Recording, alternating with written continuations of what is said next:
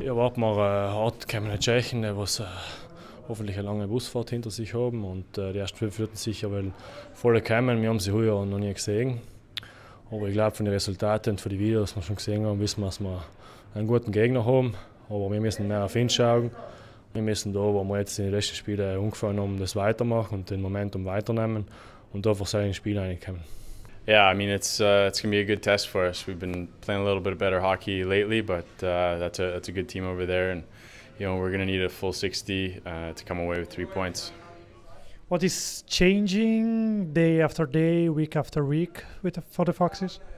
Um, I think you know a lot of it's getting used to each other, and uh, you know how how guys play, kind of meshing as uh, as a team, as well as getting getting used to the systems. You know, I feel like we're we're starting to react a lot more rather than having to think our way through games, and you know it uh, it's sure benefiting us on the ice.